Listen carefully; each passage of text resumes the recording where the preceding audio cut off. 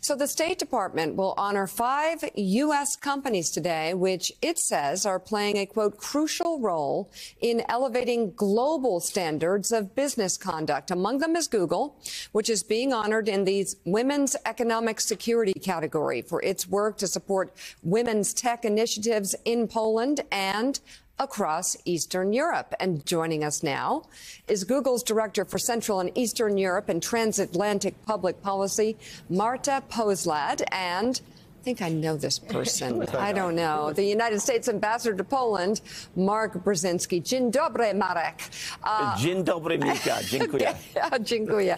I'll, I'll bow out of this one. Jonathan Lemire, you have the first question. Mr. Ambassador, good to see you. I don't know how you got by security. Um, we wanted to, you, we do want to ask you uh, about a number of pressing world affairs issues right uh, in a moment. But first, let's just talk a little bit about this award ceremony. Tell me what it means uh, mm-hmm. and, and talk to us about why Google and others are being honored. Well, Jonathan, you know, this award falls under the rubric that a collective response is the most effective response. It is important for the private sector to be involved in America's challenges and advancing our values abroad. And that is what Google Polska, which is what we call it in Poland, or Google Poland, has been doing in Poland. It has been helping Ukrainian women who are refugees in Poland develop skills to re-engage their professional lives. They have generously embraced the refugee community in Poland, which, which amounts to millions of people embraced by that country to help them get a new start. That's the kind of thing that Secretary of State Blinken is celebrating today with the Award for Corporate Excellence. And frankly, it is a model that is being um, advanced by so many companies, American and Polish, in Poland, whether it's Uber, Amazon, Hilton Hotels, or even like a small group of truckers in Radom, Poland, or a group of nurses in Poznan, Poland, doing all they can to help people who can't help themselves. Katty. Marta, could you give us um, any of the individual stories, of, particularly of the women, because most of the refugees who came across were women and children. I think it was something like 15 million have crossed from Ukraine uh, through Poland. Give us a couple of the individual stories of the women that you've been helping at Google. And is this a model that could be used to help refugees in other areas of the world?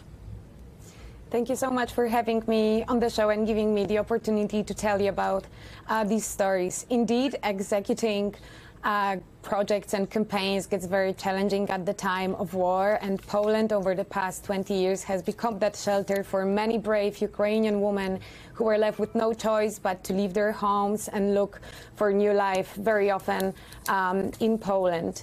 And they took advantage of a number of programs Google offer. We are very humbled to see 2,500 Ukrainian women take on our scholarships and pursue Google Career certificates that increase their qualifications and help them find themselves uh, in a completely new job market to them. We also launched a Ukraine support fund where half of startups that we supported were female funded. And these are the stories of great women like, like Lydia Turpo, um, a co-founder of Skyworker.ai platform that connects IT talent in Ukraine with global companies that offer their remote work. Another great example is Maria Smerechuk, who runs Mindly, and this is a platform that connects people in need with licensed therapists. Thanks to the scale up that Google provided, this, this platform can serve millions of people globally today. Uh, Ambassador Brzezinski, th this is David Ignatius in Washington. You had a startling election result uh, in Poland this month where uh, a center left coalition led by Donald Tusk defeated the ruling uh, right wing group of parties. Tell us about the significance of that for Poland, but more broadly for, for Europe. This seemed like a big deal. Sure. And also more broadly significant for America. What happened on October 15th was a democratic mobilization of the people to express their voice through their vote. It was the highest turnout in terms of voters in modern Polish history. And Donald Tusk, a former president of the European Council, won, his coalition won. And the strategic opportunity that you point to, David, is clear. In a creation of a new government, Poland could renew its ties with the European Union, with Germany, and even with Ukraine in one single act because ties between Poland and those countries have become uh, prickly recently. And so it is a real strategic opportunity also for America. You know, David, we have thousands of American soldiers in Poland today. Collective security is working, but one of the weak links was the relationship between Poland and the European Union and Poland and its European neighbors. And now we can that can be strengthened. Mark, it's uh, Richard Haass here. We're ending uh, the second fighting season of the war. And quite honestly, it looks something close to being a stalemate. Poland yeah. has been on the front lines. You've got millions of uh, refugees. What is your sense about the mood and whether, how would I put it, is patience at all wearing thin? What, as we go, move towards a third year of uh, fighting, what is, wh where's the center of, of Polish society, and where do you think the new government will come out? Well, Polish society still a, a, majority of Poles support embracing the refugees and continuing to support them. But that support is slowly diminishing. But I think President Biden has initiated a really smart strategic move by appointing a special envoy to begin to think about the recovery and rebuilding of Ukraine. That's former Secretary of Commerce Penny Pritzker. Because, yes, the war continues, but the strategic opportunity when the Ukrainians win, or even before, is to begin to rebuild Ukraine so it is as Secretary Blinken put it, so it doesn't just survive but thrives, is part of Europe's logistics chains, supply chains, part of its tech context. That thinking has already begun. And rebuilding Ukraine will not just be an American problem. It's an international problem, and it's good that Secretary Pritzker is getting in front of that.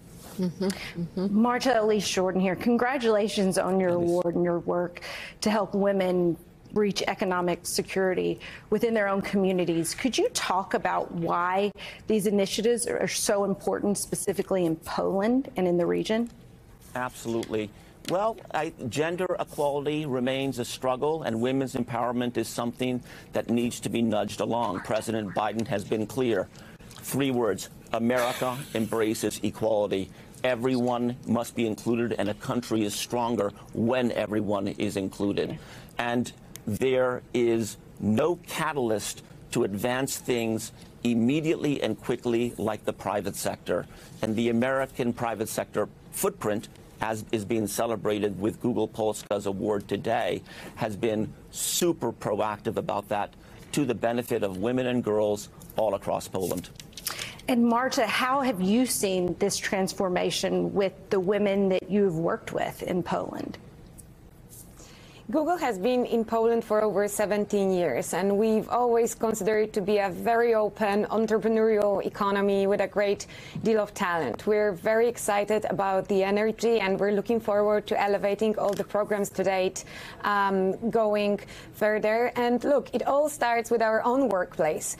Googlers across the world, having been empowered in their own careers, really understand that there is so much more, more we need to do for others. And this award truly speaks speaks to the trade relationship between uh, Poland and the U.S., but also the strategic partnership between the U.S. and Europe.